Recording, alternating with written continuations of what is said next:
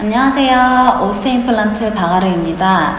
오늘은 케이스는 많이 없지만 이제 선생님들이 궁금해하시는 임신부 그리고 조산화와 저체중아가 왔을 때 프로그램상에 어떻게 적용을 하면 되는지 보여드리도록 하겠습니다.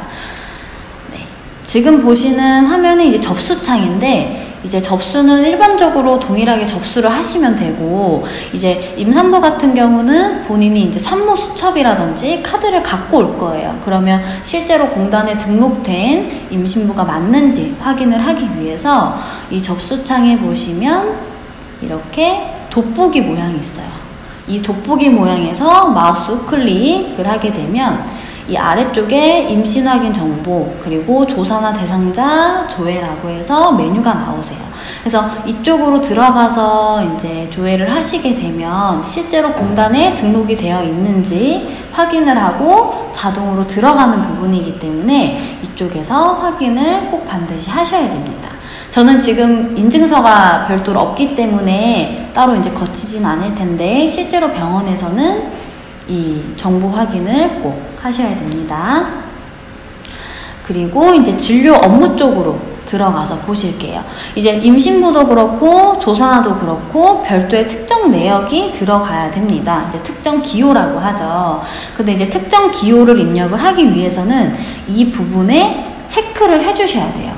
근데 지금 보시면은 체크를 할 수 있는 구분값 자체가 안 보이시죠? 그래서 여기부터 보여드리도록 하겠습니다. 제일 먼저 이 보험 구분에서 마우스 오른쪽 버튼을 누르게 되면 기타 자격이라고 있어요. 요거를 이제 체크를 이렇게 해주셔야만 임산부도 나오고 조산화도 나오세요. 그래서 이제 임산부 같은 경우에 이쪽에 띡 이렇게 체크를 하게 되면 이제 F015라는 특정 기호가 자동으로 붙기 때문에 별도의 이제 다른 조치는 안 하셔도 됩니다. 예.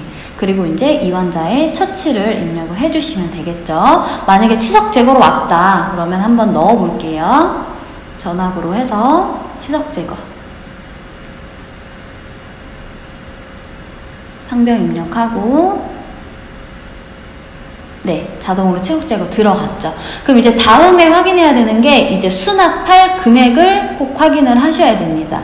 이제 의원급 기준으로 임산부 같은 경우는 10%예요. 그래서 이제 10%로 정상적으로 본인 부담금에 떨어졌는지 꼭 확인을 하셔야 됩니다.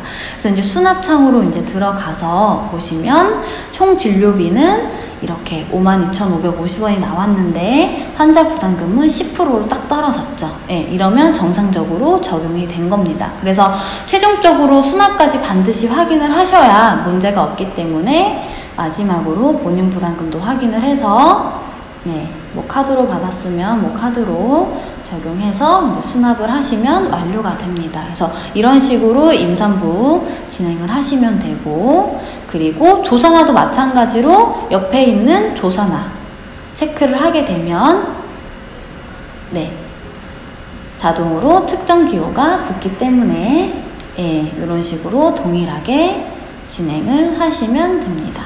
예, 조산화와 저체중아에 대해서 올해 1월 1일부로 대상 연령이 확대되고 본인 부담금이 인하가 되었어요.